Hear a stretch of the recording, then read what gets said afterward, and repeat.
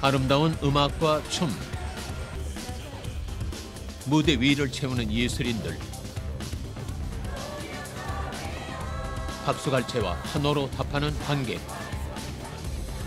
너무나도 자연스러운 모습이지만 코로나19가 시작된 이후 많은 공연장과 행사장에는 조용한 신문만이 감돕니다. 코로나19로 사회 경제적 타격이 심각한 가운데 문화예술계 역시 코로나19로 인한 직격탄을 맞았습니다. 특히 관객들과 함께하는 공연 예술의 경우 더욱 심각한 상황입니다. 2020년 말을 기준으로 예술경영센터의 자료에 의하면 공연 예술 분야를 놓고 보면 매출액 기준으로는 19년 대비 84.5%가 감소했다라고 하는 거죠. 이에 정부와 기관 등에서 문화예술계의 피해를 줄이기 위한 지원책들을 내놓았지만 일부 문화예술인들은 그런 지원책이 크게 와닿지 않는다고 말합니다. 아니 뭐 국가에서 지원을 해준다는데 없어요. 현실적으로 사각지대에 있는 사람들이 너무나 많은 거예요. 가서 신청을 하려고 하면 무슨 뭐 어, 걸리는 것들이 많아요. 이것 때문에 안 되고 이것 때문에 이것 때문에 안 되고. 끝을 알 수 없는 코로나19 상황, 계속되는 문화예술계 피해를 줄이기 위한 지원책의 보완과 앞으로 문화예술계의 과제는 무엇인지에 대해 현장 포착 사실은에서 알아봅니다.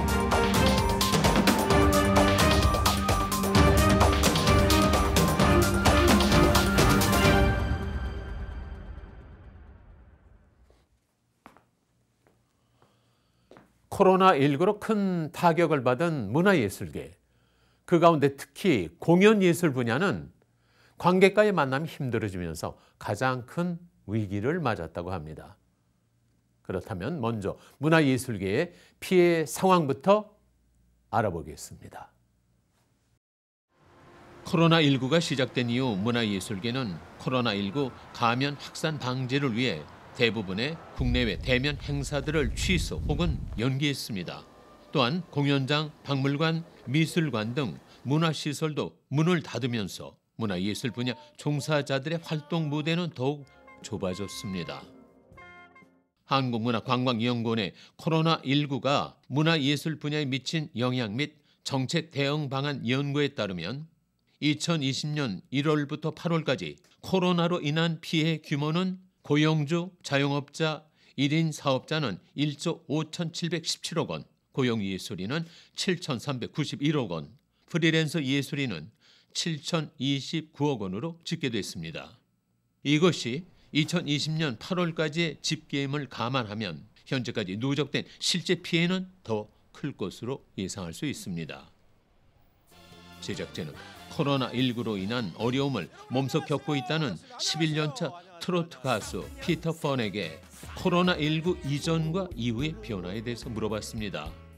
코로나 전에는 거의 30일 기준으로 보면 한 적어도 29개, 뭐 30개 뭐 이상 평균으로 치면 하루도 쉬지 않고 어, 행사가 있었는데 지금은 뭐 2020년 경우 두 번인가 예, 사회적 거리 단계가 완화됐을 때 한 두 번인가 행사로 그쳤죠. 그러다 보니까 이제 그걸 해결하기 위해서 이제 막노동 현장에 가서 어, 단순 노동 있잖아요. 볼트 조립하고 이런 것들도 하고 그리고 이제 뭐 현장에 가서 용접하는 어, 그런 일도 하고 근데 이런 일들도 많지가 않아요. 이런 상황은 가수이자 노래 강사인 최 씨 역시 마찬가지입니다. 지금 사실상 뭐 편의점 아르바이트부터 이것저것 다 이렇게 신청을 해봤는데 저뿐만이 아니라 지금 모든 막 사람들이 지금 직업난에 또 힘들어하고 있어서 제가 이제 직업을 구하기나 좀 힘든 일이더라고요. 그래서 저희들이 들어갈 수 있는 일은 배달 업종이더라고요. 그래서 이제 그것도 좀 하는데 그게 항상 일이 있는 게 아니다 보니까 또 다른 현장의 이야기는 어떨까요? 한국연극협회 용인지부의 한원식 지부장에게 코로나19 이후 변화에 대해서 물어봤습니다. 그런 친구들이 상실감과 우울증, 공황장애 같은 게 오는 거죠. 이걸 우리가 끝까지 할 수 있습니까? 앞으로도 과연 이게 했을까요? 이게 끝난다고 한들 어떤 또 다른 바이러스가 또 안 생길까요? 그는 가장 힘든 것은 코로나19가 언제 끝날지 모른다는 상실감과 우울감이었다고 했습니다. 극단을 운영하는 대표자이자 연극 연출가인 이화정 씨 역시 비슷한 이야기를 합니다. 아무래도 관객을 만날 수 없는 작업들이 되게 많이 생겼다라는 게 가장 큰 변화인 것 같아요. 그래서 이게 사실 현장 예술이잖아요. 연극이라는 게. 근데 관객을 만날 수 없다라고 하는 그 스트레스가 생각보다 많이 크더라고요. 공연을 이어가지 못하는 상황은 배우들뿐만 아니라 문화예술계에 종사하는 많은 사람들에게 큰 영향을 주고 있다고 합니다. 제작진은 음향, 무대 등의 공연 시스템 관련 회사를 운영 중인 윤태진 대표에게 이와 관련한 이야기를 더욱 자세히 들을 수 있었습니다. 지금 공연 시스템 업계 상황이 굉장히 심각합니다. 음향이나 무대나 이런 조명 업체가 대부분 이제 창고나 이제 장비 구매로 매달 이제 목돈이 이제 들어가는데요. 이게 이제 코로나 사태로 감당이 안 되다 보니까 제 주변에는 벌써 이제 극단적인 선택하신 분들의 소식도 이제 심심하게 들려오고 있고요. 어, 이런 분들이 공연계에서 누구보다 중요한 역할을 하고 계신데 어, 굉장히 말로 할 수 없이 심각한 상황입니다. 코로나19로 인한 공연 예술계 변화는 문화예술인들의 생계, 나아가 생명까지 위협하는 상황이었습니다. 그들에게는 적절한 지원과 대책이 시급해 보였습니다. 코로나19로 인한 문화예술계의 침체로 관련 종사자들은 생계에 큰 위협을 받고 있습니다. 이런 피해를 줄이기 위해 정부와 문화재단, 지자체 등에서는 각종 대책을 마련했는데요. 이번에는 그 내용에 대해서 알아보겠습니다. 코로나19로 인한 막대한 피해를 입고 있는 문화예술계의 상황에 정부와 기관, 지자체 등에서는 문화예술인들의 피해를 줄이기 위한 대책들을 마련했습니다. 정부는 지난해 문화예술 분야에 대한 방역 지원과 창작, 제작 지원, 공연장, 대관료 지원 사업 등을 발표했고 특히 지난 7월 3차 추경을 통해 예술 분야에 약 1,569억 원 규모의 재원을 투입, 공공미술 프로젝트와 공연 예술 분야의 인력 지원, 온라인 미디어 예술 활동 지원 사업 등의 사업을 진행했습니다. 제작진은 정부의 지원과 더불어 경기도에서 지역 문화예술인을 위해 어떤 지원을 진행했었는지 경기도 의회 문화체육관광위원회 최만식 위원장을 찾아 이에 대해서 물어봤습니다. 저희가 122억 원의 재원을 마련해서 예술인들 1,700명, 단체가 한 3,700여 단체에 지원을 했습니다. 예술 활동을 지원해 줄 수 있는 100만 원의 기적이라는 부분을 했고 또 이제 온라인을 통해서 할 수밖에 없는 비대면 활동을 지원해 주는 경기 예술 방방콕콕 극장을 우리가 운영을 했고요. 그다음에 driving theater, 그다음에 우리 도예인들의 특례 보증. 경기도에서는 경기도형 문화 뉴딜 프로젝트라는 이름으로 경기문화재단, 경기아트센터 등의 공공기관과 협업을 통해 경기도 문화예술인들을 위한 지원 사업 등을 진행했습니다. 그 가운데 경기문화재단은 사업 실행을 위해 코로나19 관련 지원 사업 전담 팀인 코로나19 예술 백신 프로젝트 TF팀을 꾸리기도 했습니다. 제작진은 전담팀의 팀장이었던 조병택 팀장을 만나 전담팀의 활동에 대해서 물어봤습니다.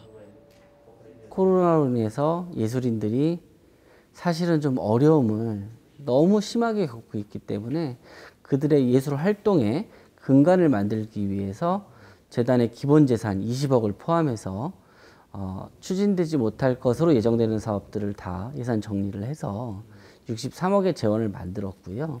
저희가 이른바 순수예술이냐 어, 아니냐의 부분으로 놓고 본다 그러면 이번 2020년 경기도형 문화유딜 코로나19 예술 백신 프로젝트에서는 실용예술 분야까지를 담아냈고 그리고 또 문학으로부터 공연 퍼포먼스까지 8개에서 10개 영역을 담아내고 있었습니다.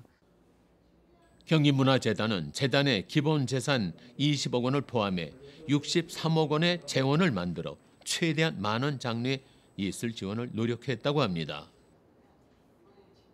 정부와 관련 기관, 단체 등의 지원 사업을 살펴보면 비교적 신속하고 꾸준하게 문화예술 지원책을 내놓고 있는 것으로 보입니다.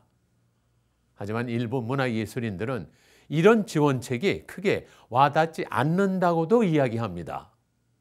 자, 과연 어떤 이유일까요? 제작진은 코로나19로 생계 어려움을 느끼고 있다는 문화예술인들에게 정부나 관련 기관들의 지원을 받을 수는 없는지에 대해서 물어봤습니다.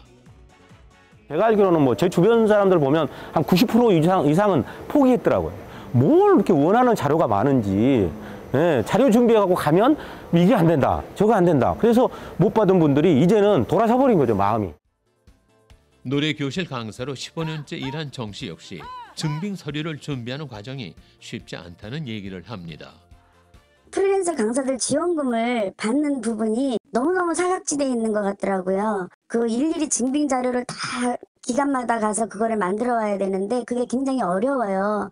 그래서 저도 사실은 이거를 몇 번 시도하다가 너무 힘들어가지고 지금 포기했는데 제 주변의 강사님들도 그런 분들이 많거든요. 한편 이화정 연출은 생계를 위해 겸업을 하는 경우가 많은 예술인들의 특성상 실질적인 지원을 받기 어려웠을 것이라는 얘기를 했습니다. 그러니까 예술가들이 예술로 생계 활동을 하지 않기 때문에 다 side job을 갖고 있는데 그 side job은 사실은 의료 보험이나 이런 게 그쪽을 통해서 나가는 경우가 되잖아요. 그 순간 이제 지원에서 배제가 되는 거거든요. 그리고 의료보험이든 고용보험이든 이게 오래 산출되는 게 아니잖아요. 작년이거나 재작년의 상황에서 반영됐던 걸 기준으로 이제 선별이 되니까 이제 끊임없이 배제가 되는 상황이 벌어지는 거죠. 프리랜서로 일하는 조명, 음향 감독들의 경우는 예술인으로도 인정받기조차 쉽지 않아 지원받기가 더 힘든 상황이라고 했습니다. 조명이나 음향 감독님들은 개인 사업자도 아니고 이제 프리랜서시다 보니까 개인 사업자도 아니고 이제 예술인에도 해당이 안 돼서 그야말로 좀 사각지대에 놓여 있습니다. 수익이 제로입니다, 제로. 제 주변에 어려움을 호소하시는 분들이 정말 너무나도 많고요. 한편 직접 지원이 아닌 작품 창작을 통해 받는 이게 간접. 지원에 있어서도 현장에서 겪는 어려움은 존재한다고 합니다. 작품으로 완성된 작품을 만들어서 지원금을 가져가는 형식을 하게 하면 결과물을 내야 되잖아요. 근데 문제는 극장 문도 닫혀 있고 연습실도 닫혀 있고 뭐 이런 상황이 벌어지면서 이거는 지원금을 이렇게 가져가려고 하면서 과정을 풀어낼 수 있는 공간 자체가 닫혀 있으니까 지원금을 받아놓고도 하지 못하는 상황들이 막 벌어지고 그러니까 이제 그런 혼선들이 좀 있었던 거죠. 또한 공모 사업의 교부와 정산 과정 역시 예술인들에게는 큰 부담으로 다가왔다고 합니다. 어, 지금 코로나 19에서 이제 다른 지부들하고 이제 자주 이제 뭐 통화를 하죠. 근데 그렇게 했을 때 인사말이 이제 코로나 19를 얘기하는 겁니다. 인사말이 그 사업 하셨어요? 넌 사업했니? 반납했니? 예, 반납했어요. 그런 게 상당히 많더라고요. 그 절차 자체가 까다롭고 교부나 정산도 너무 어렵고 또 중간 과정도 너무나 복잡하고 그런 얘기들을 많이 합니다. 사업을 하면서 투명성도 중요하지만 어, 절차의 관수화도 반드시 필요한 부분이다. 압축하면 충분히 나올 수 있는 부분이거든요. 이와 비슷한 의견은 통계 자료에서도 확인할 수 있었습니다. 한국문화관광연구원이 예술인 1223명을 대상으로 실시한 설문조사 자료를 살펴보면 정부의 코로나19 관련 정책 사업을 신청하지 않은 예술인의 비율은 42.5%로 나타났습니다. 또한 그 이유로는 지원 대상이 까다롭거나 해당이 되지 않아서가 61.7%로 가장 높았고 지원 제도를 몰라서가 42.5%, 절차가 복잡해서 증빙 서류 준비가 어려워서가 35.8%로 그 뒤를 이었습니다. 한정된 재원을 효율적으로 분배하기 위한 과정은 반드시 필요하지만 이로 인해 사각지대에 놓이게 되는 문화예술인들과 사업 신청과 증빙 등의 서류 준비에 큰 어려움을 느끼고 있는 문화예술인들 이 둘의 간극을 해결할 수 있는 접점을 찾는 것이 중요해 보였습니다. 정부와 관련 기관 등에서 문화예술인을 위한 다양한 대책을 내놓았지만 앞으로 지원의 사각지대 해소와 효율성을 높이기 위한 보완책은 필요해 보입니다. 그렇다면 지원책 마련과 더불어 고민해 봐야 할 점은 무엇일까요? 코로나19로 관객과의 만남이 제한되면서 정부는 2020년 9월 지속 가능한 예술 생태계를 만들기 위한 비대면 예술 지원 방안을 발표했습니다. 또한 관련 기관들도 문화예술 분야의 온라인 비대면 콘텐츠 제작 관련 지원 사업을 진행했고 이에 발맞춰 문화예술 분야에서는 온라인 비대면 콘텐츠 제작이 활발해졌습니다. 제작자는 영상 작업을 진행했던 예술인들에게 무대 예술을 영상으로 제작하는 작업에 대한 고충은 없었는지에 대해서도 물어봤습니다. 저희가 올해 일곱 개 공연을 하면서 사실은 관객을 단 한 번도 만나지 못하고 그래서 처음에 시작은 뭐 생중계로 가보자 했다가 아 이러 생중계를 하니까 이런 문제가 있는 것 같아. 그러면 좀 편집의 과정을 거쳐볼까? 라고 해서 또 편집의 과정을 거치려고 하니 아 또 음향상의 문제가 이런 게 발생을 하네? 그럼 또 그걸 보완해서 다르게 해볼까? 이런 시행착오의 과정을 계속 겪어낸 거예요. 연말까지. 이런 과정을 거쳐 올해 일곱 개의 작품을 영상으로 제작했지만 더 큰 고민은 따로 있었다고 얘기합니다. 근데 이렇게 많은 영상물을 만드는데 정작 볼 사람의 확보에 문제가 생기는 거예요.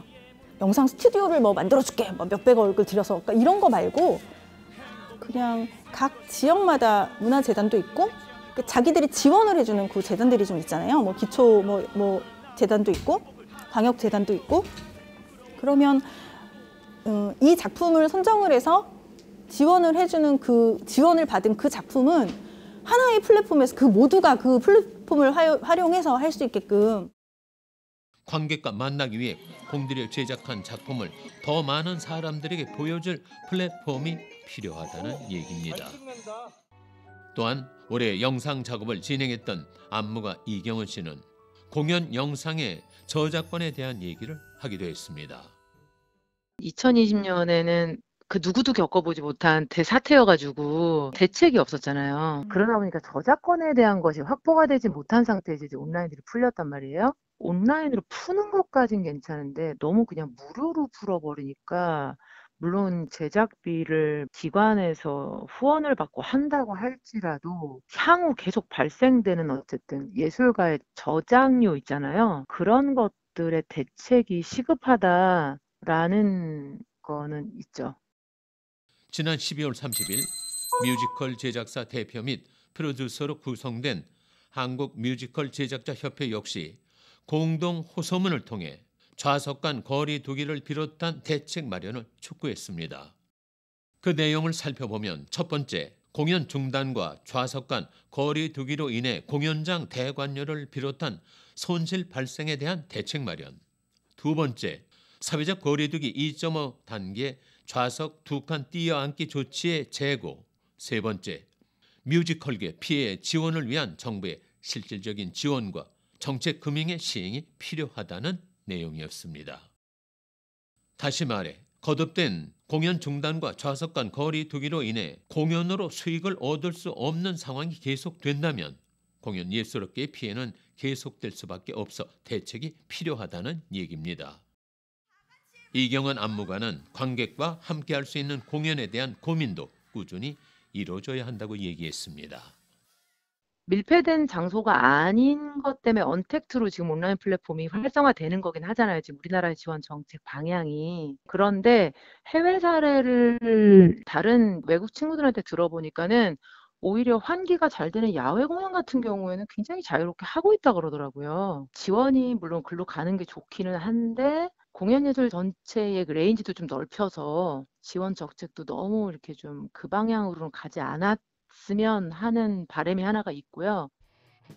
제작진은 코로나19 장기화에 따른 문화예술계 피해를 줄이기 위한 방법에 또 어떤 것들이 있는지 물어봤습니다.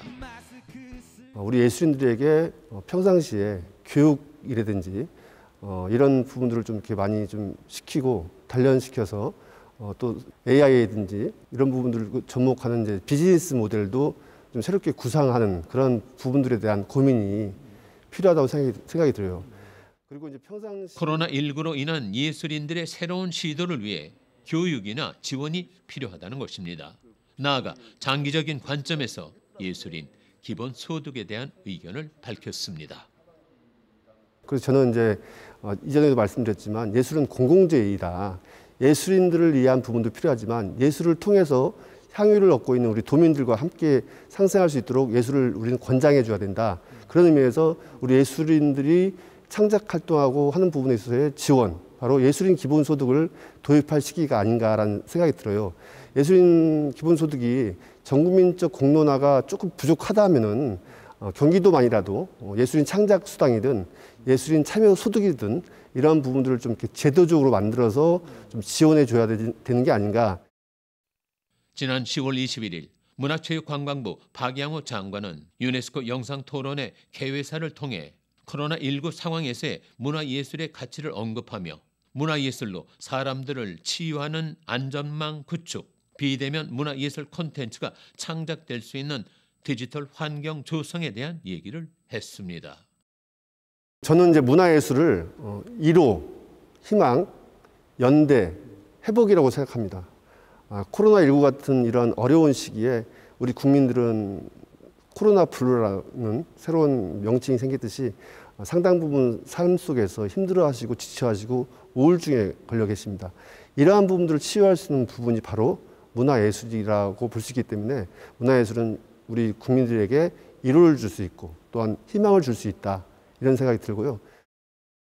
우리 사회를 유지하게 하는 개인의 삶과 공동체의 삶과 국가적 삶과 전 지구적 삶을 가능하게 하는 그 힘, 그것이 예술이다.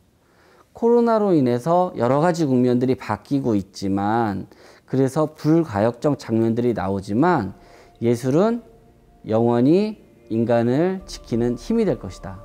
라고 생각합니다. 사람들은 코로나19 속 문화예술이 지닌 가치에 대한 이야기를 합니다. 문화 예술이 가진 이 가치를 잘 발휘하려면 먼저 문화 예술계 생존이 필요합니다.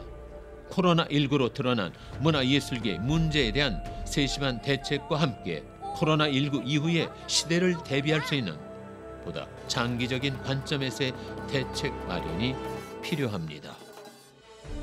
누구도 예측할 수 없었던 코로나19라는 상황 속 문화예술계는 절체절명의 위기를 겪고 있습니다.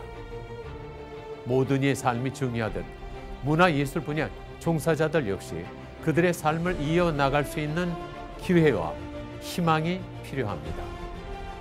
문화예술 분야의 지원에 대한 사각지대 해소와 지속 가능한 문화예술을 위한 다각도의 고민이 중요한 시점입니다.